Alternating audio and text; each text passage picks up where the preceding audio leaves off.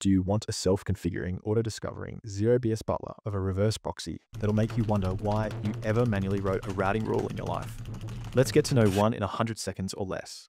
Timer starts now. You're deploying web apps, APIs, microservices, whatever buzzword you prefer, and you're knee-deep in reverse proxy configs, manually duct taping your traffic together, like it's the early 2000s, and Apache is your clingy ex who won't let go. You got Nginx configs longer than your grandma's grocery list. You got HAProxy making you feel like you need a PhD in networking just to keep your services alive. And let's not even talk about manually managing SSL certificates. Might as well carve them into stone tablets.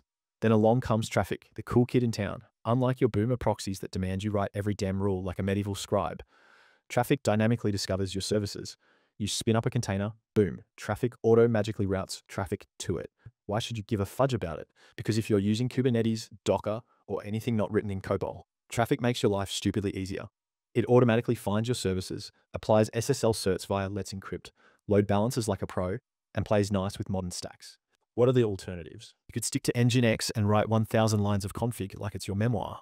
Or HAProxy, which is great but about as dynamic as a brick wall. Or Caddy, which is neat but not as battle hardened.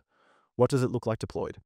Picture this. You write three lines in a Docker label or a Kubernetes ingress rule, and boom, Traefik just works.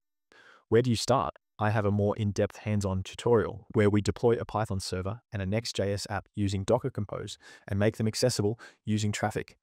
Or you can just YOLO it and run Docker run Traefik, see what happens. We both know that's how you learned Kubernetes anyway. Still here? You made it this far, might as well hit subscribe.